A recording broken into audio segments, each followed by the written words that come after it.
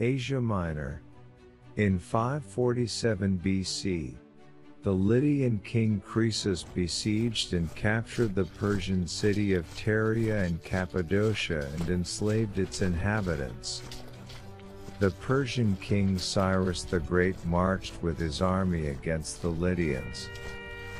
The Battle of Pteria resulted in a stalemate, forcing the Lydians to retreat to their capital city of Sardis.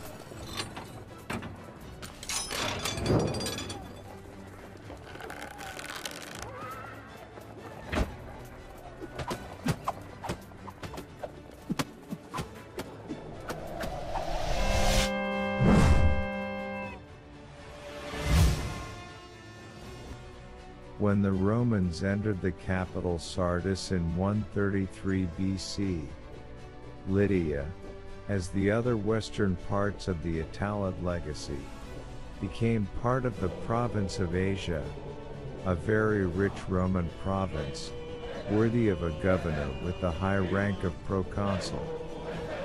The whole west of Asia Minor had Jewish colonies very early, and Christianity was also soon present there. Acts of the Apostles 16:14 to 15 mentions the baptism of a merchant woman called Lydia from Thyatira, known as Lydia of Thyatira, in what had once been the satrapy of Lydia. Christianity spread rapidly during the 3rd century AD. Lit by the late afternoon sun, it's difficult to imagine that these bucolic fields around the small Turkish village of Sart ever looked any different than they do today.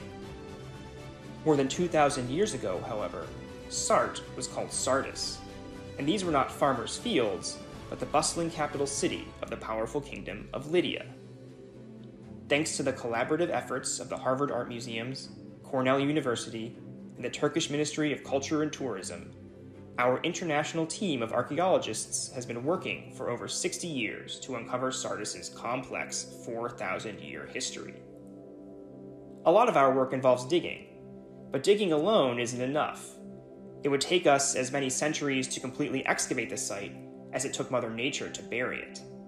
So we're always looking for new tools to help us interpret Sardis's past. In the last few years, one tool that we've come to rely on is drone photography, which offers countless new ways for us to explore the ancient city from above. At the top of Sardis's imposing Acropolis, for example, the remains of the medieval citadel walls cling precariously to the hillside. What you see here are bits of those remains.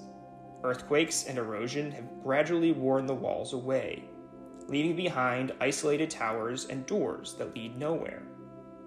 Originally, though, these fragments would have been part of a solid fortification designed to defend the Acropolis from attack, with bastions constructed almost entirely from reused blocks that were taken from abandoned buildings in the city below.